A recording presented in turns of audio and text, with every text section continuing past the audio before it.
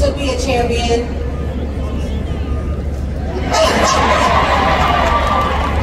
Ellie, how happy are you for New York City and all of these fans to be champions?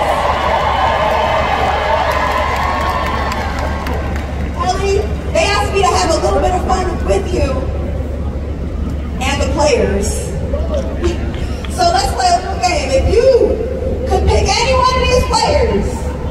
be your dance partner for the championship.